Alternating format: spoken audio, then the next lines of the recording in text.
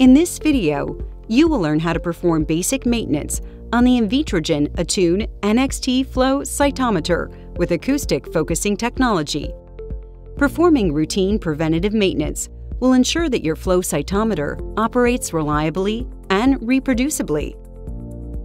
Detailed instructions can be found in the Attune NXT Acoustic Focusing Cytometer User Guide or the Attune NXT Acoustic Focusing Cytometer Maintenance and Troubleshooting Guide.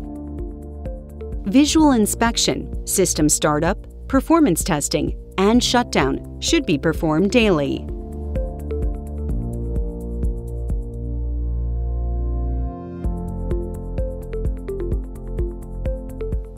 Other maintenance functions should be executed as needed. Clean optical filters and mirrors each month.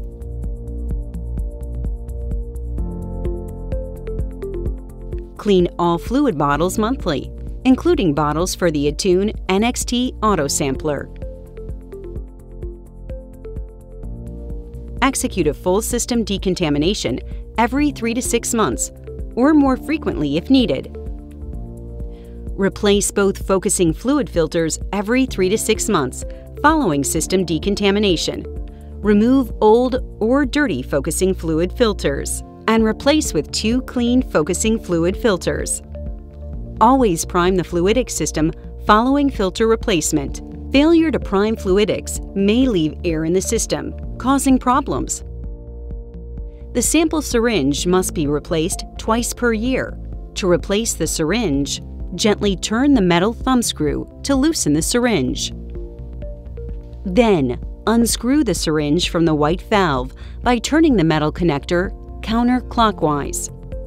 Carefully remove the old syringe and replace with new syringe. Insert the new syringe carefully. When the syringe is correctly screwed into the valve, tighten the thumb screw. Prime the fluidic system following syringe replacement. The sip tube can be replaced if damaged or clogged. Unscrew the damaged sip tube by turning the connector counterclockwise. Replace with a new sip tube, rotating clockwise to tighten. After sip tube replacement, perform a sip sanitize and prime fluidics following sip tube replacement. To learn more about the Invitrogen Attune NXT Flow Cytometer with acoustic focusing technology, visit www.thermofisher.com forward slash flow cytometry.